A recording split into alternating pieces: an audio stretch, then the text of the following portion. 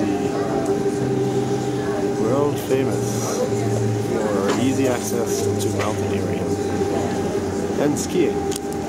There's the top station, the Arete. see people down the Arete. And then right there on the face,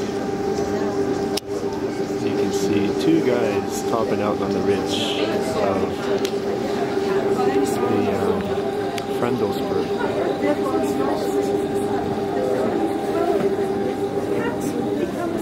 all that under the eyes of tourists loading up into the tram here at uh, Midi mid station.